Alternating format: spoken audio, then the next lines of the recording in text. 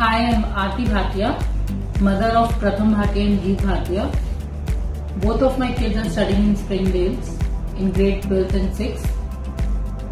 The best thing about uh, Springdale's teachers is their dedication and commitment.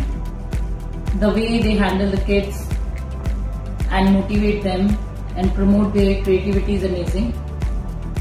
I miss the regular and peer interaction. Hope everything goes uh, normal and recover soon so that our kids get opportunity to express themselves in front of the teachers. Even in this challenging time, our teachers are keeping our kids busy and through e-learning and uh, giving them each each of them proper attention. I'll say all the best to everyone. Stay safe, stay at home. Thank you.